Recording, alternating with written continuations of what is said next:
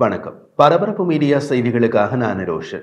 ரஷ்ய ராணுவத்திடம் யுத்தம் புரிவதற்கு உக்ரைன் ராணுவத்திற்கு ஜெர்மன் தயாரிப்பு லெபார்ட் பிரதான தாக்குதல் டேங்களை கொடுப்பது தொடர்பான ஒரு குழப்பம் ஏற்பட்டுள்ளது. பதினோராவது மாதமாக உக்ரைனில் நடந்து கொண்டிருக்கும் யுத்தம் காரணமாக ரஷ்ய ராணுவம் தம்மிடமிருந்த அதி தொழில்நுட்ப ராணுவ டேங்கள் பலவற்றை இழந்துவிட்டது.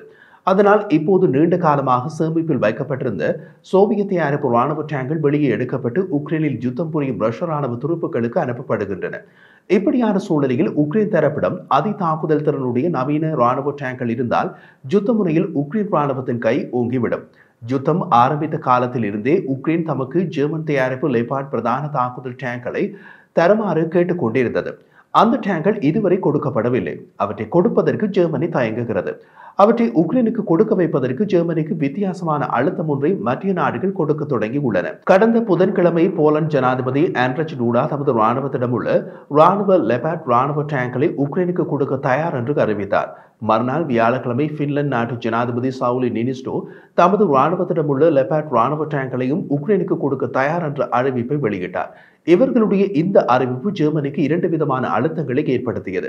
முதலாவது அழுத்தம் அந்த ராணுவ டேங்க் ஒரு ஜெர்மன் தயாரிப்பு டேங்க் ராணுவ டேங்க் அப்படி இருக்கும்போது ஜெர்மனி இன்னமும் அந்த ராணுவ டேங்கை கொடுக்கவில்லை. மாறாக ஜெர்மனியிடமிருந்து ராணுவ டேங்கை வாங்கிய போலந்து மற்றும் பின்லாந்து ஆகிய நாடுகள் ராணுவ டேங்கை கொடுக்க தயாராக உள்ளன. மத்திய நாடுகளை ஜெர்மன் தயாரிப்பு ராணுவ டேங்கை கொடுக்கும் போது ஜெர்மனியும் அந்த ராணுவ டேங்களை உக்ரைனுக்கு கொடுக்க வேண்டும் என்று ஜெர்மன் ஊடகங்கள் கருத்து வெளியிட்டன. அதே போல ஜெர்மன் அரசியல்வாதிகளும் அப்படி பேச தொடங்கினார்கள். இது ஜெர்மனிக்கு ஏற்பட்ட முதலாவது அழுத்தம். அவர்களுக்கு ஏற்பட்ட இரண்டாவது அழுத்தம் போலண்டும் சரி பின்லாண்டும் சரி அந்த ராணுவ டேங்களை உக்ரைனுக்கு கொடுக்க வேண்டும் என்றால் அதற்கு ஜெர்மனி அனுமதி கொடுக்க வேண்டும். அதுதான் அந்த ராணுவ டேங்கள் விற்கப்பட்ட போது செய்து கொள்ளப்பட்ட ஒப்பந்தம். அந்த ராணுவ டேங்களை ஜெர்மனியிடமிருந்து வாங்குவது என்றால் வாங்கும் நாடு அதன் இறுதி பாவனையாளராக இருக்க வேண்டும். வாங்கும் நாடு அந்த ராணுவ டேங்கை மற்றொரு நாட்டுக்கு மீளேற்றுமதி செய்வதென்றால் அதற்கு ஜெர்மனியின் அனுமதி பெறப்பட வேண்டும். போலந்து ஜனாதிபதி ஜெர்மனியிடமிருந்து அனுமதி கோரிய கடிதத்தை அனுப்பியுள்ளோம் என்று தெரிவித்தார். ஜெர்மனியோ இன்னமும் அந்த கடிதம் வந்து சேரவில்லை. கடிதம் வந்து சேர்ந்த பின்னர் அது பற்றிய முடிவு எடுக்கப்படும் என கூறியுள்ளது.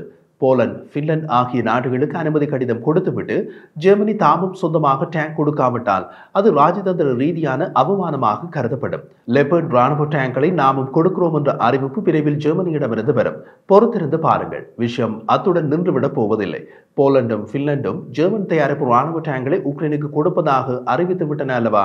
வேறு சில ஐரோப்பிய நாடுகளும் தமிழமுள்ள ஜெர்மன் தயாரிப்பு லெபர்ட் ராணுவ டேங்களை உக்ரைனுக்கு கொடுக்கும் அறிவிப்பு இந்த வாரம் வழியாக வாய்ப்பு உள்ளது.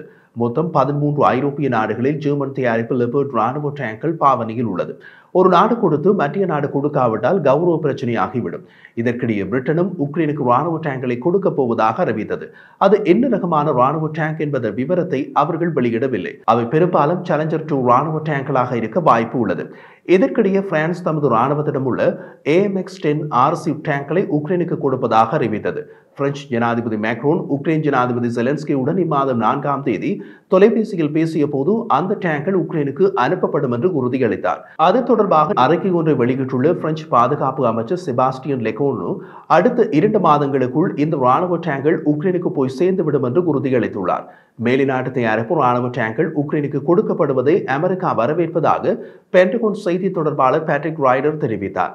மொத்தத்தில் உக்ரைனை ஒரு தரை யுத்தத்திற்கு தயார்படுத்துகிறார்கள் என்பது நன்றாக தெரிகிறது. பெரும்பாலும் மார்ச் மாதத்தில் உக்ரைன் ராணுவத்தின் தரை நகர்வு தொடங்கும் என்று எதிர்பார்க்கலாம்.